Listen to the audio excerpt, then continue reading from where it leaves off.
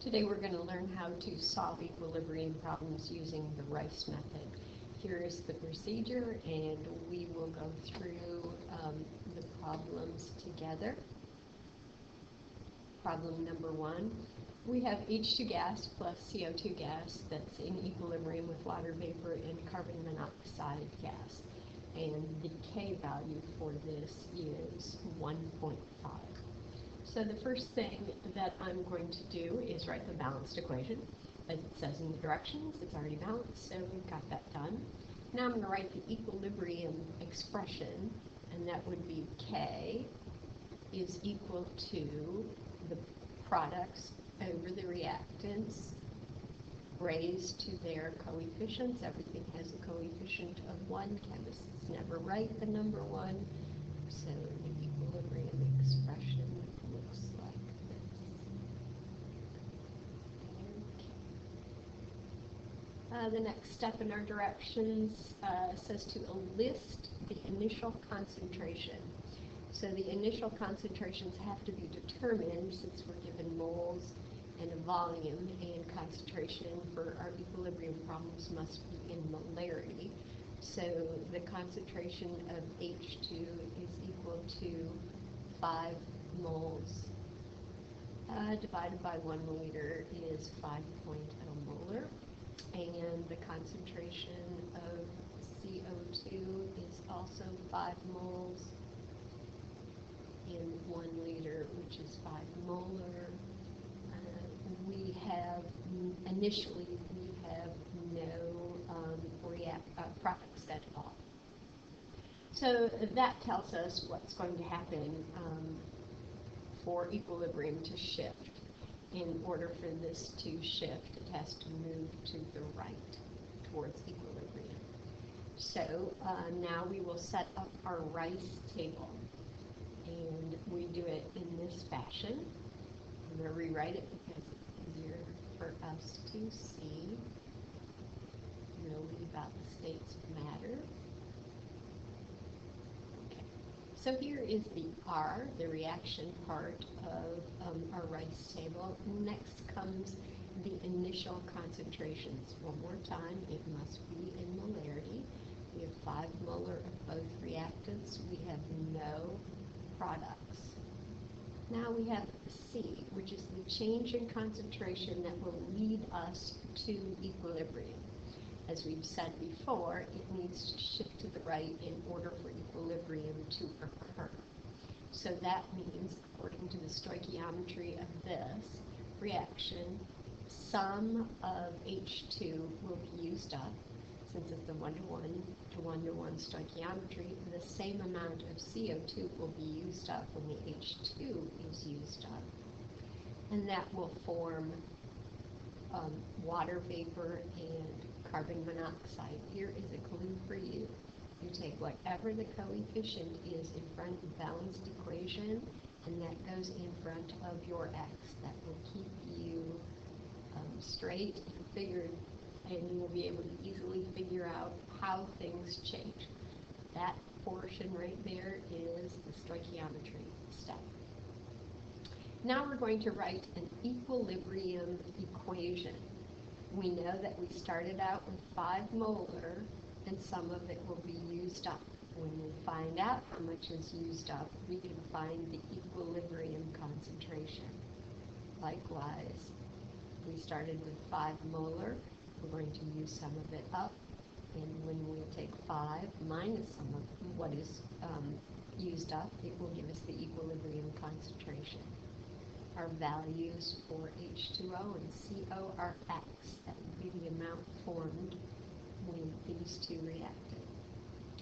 Okay, now we're ready to use this information in our law of mass action.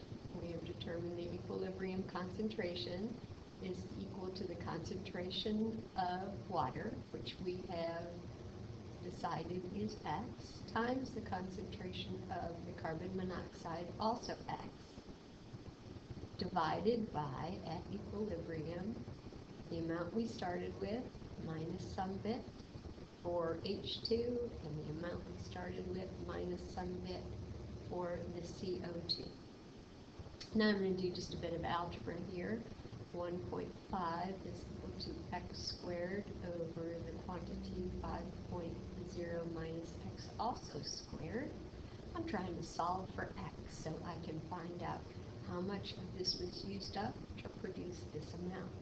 The first thing I'm going to do is take the square root of the whole thing and that will give me 1.22 is equal to x over 5.0 minus x.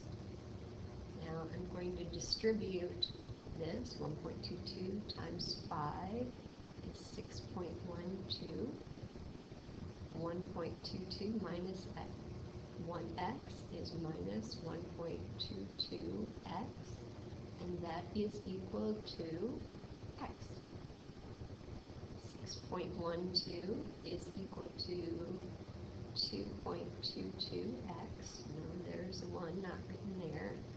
So x is equal to 2.76.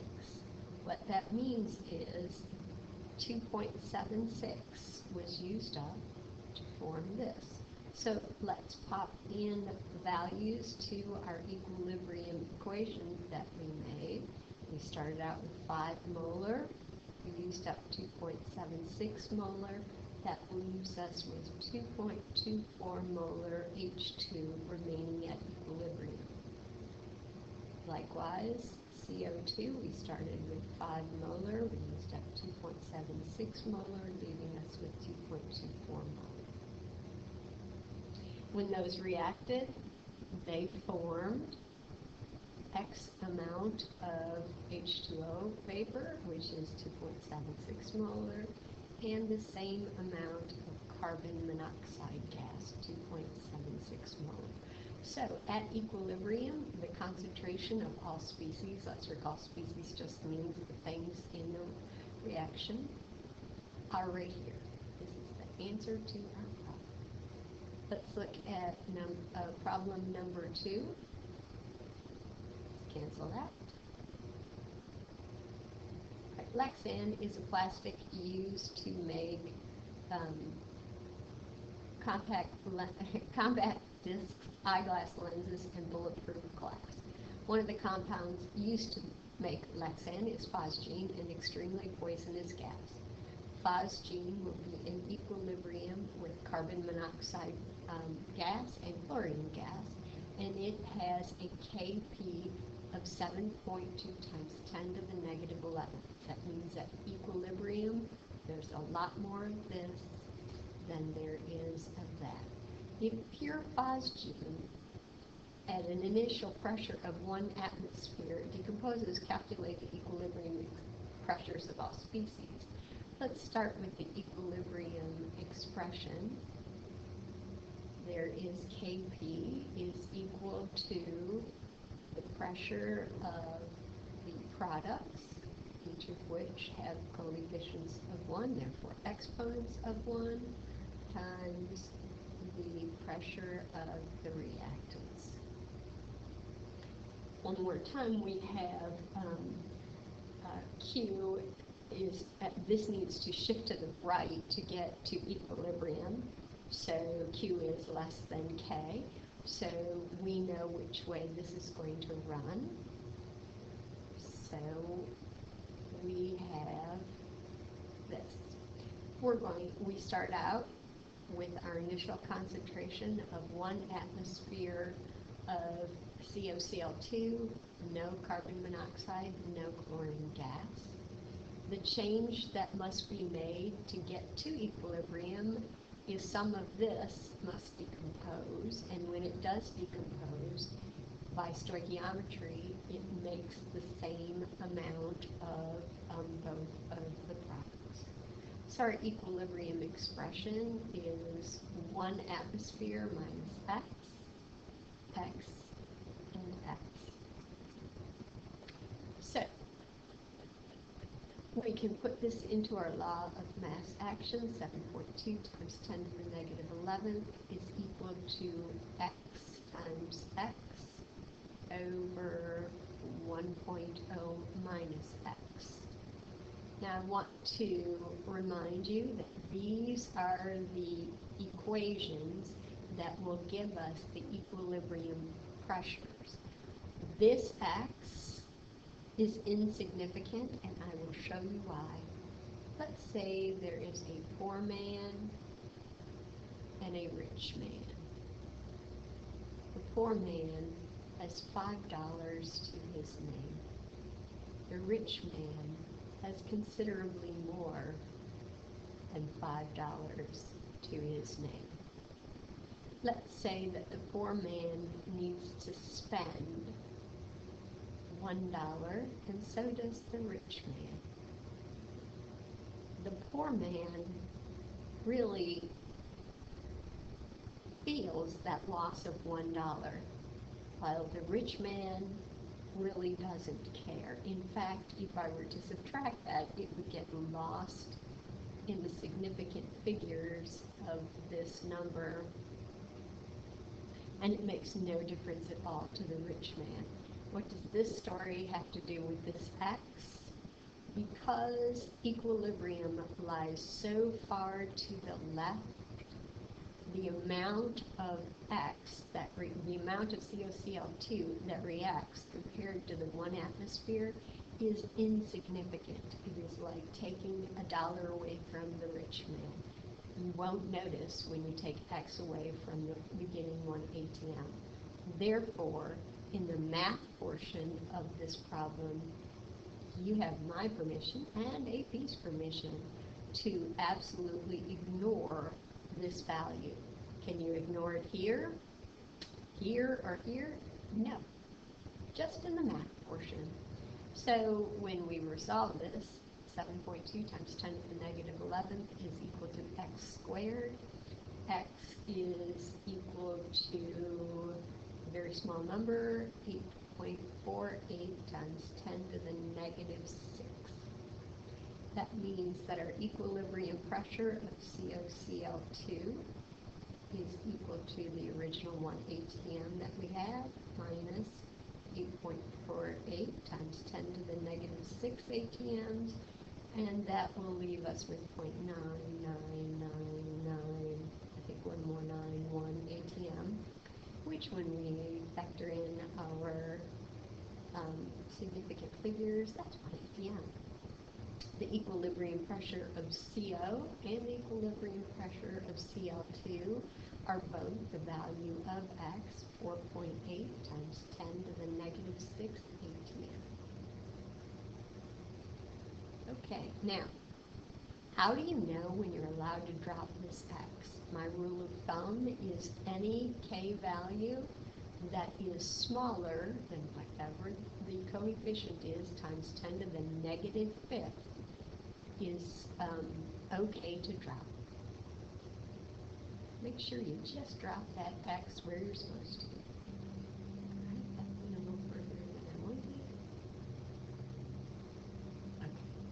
Problem number three. This is the first time that we have a coefficient in our problem other than 1.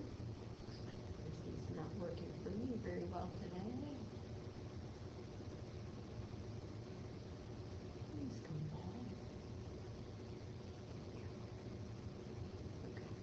Um, problem number three says K for the decomposition of nitrogen monoxide is 2.5 times 10 to the negative fifth at 1700 K. Here is the balanced equation, and they tell us how much is placed into a flask and heated. So it looks like the first thing we have to do is write the equilibrium expression. K is equal to 2.5 times 10 to the negative fifth would take the products and divide them by the reactants, raising them to their coefficient. The coefficient of N2 is 1, the coefficient of O2 is 1, therefore we're raising it to the first power, but this time the coefficient of NO is raised to the second, is um, has a coefficient of 2, so we're raising NO to the second power. Now we have to figure out the um, starting concentrations. They tell us we have 0.015 mole of the NO in a 12 liter flask. So we have a initial concentration of the NO of 0.00125 molar. We have no nitrogen and we have no oxygen to begin with. So Q is smaller than K, so this reaction must shift to the right in order to reach equilibrium. So here is our equation for our rice table. Our initial concentration is 0.00125 molar of NO, no N2, no O2. The change, since this must shift to the right to get to equilibrium, this will get smaller by a value of 2 times as fast as this gets larger. I took the coefficient and put it in front of the x to keep us straight with our stoichiometry for this problem. Our equilibrium equation, 00125, our starting amount of NO, will be decreased by 2x to form x amount of N and x amount of O2. So let's put some numbers into our law of mass action, noting that our K value falls into the range for us to ignore one value, and that is this value in the math portion of our problem. And this quantity will be squared. This is the part for um, expediency's sake that we are allowed to um, disregard.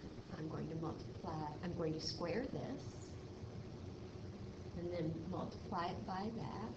And when I do that, I get 3.91 times 10 to the negative 11 is equal to x squared.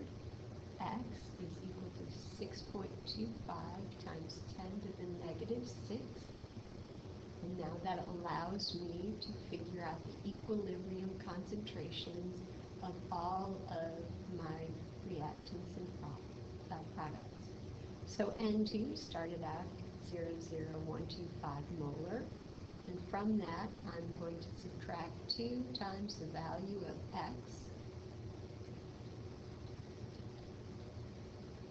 and that will give me a ending amount or the equilibrium amount of NO to be 0.00124 molar.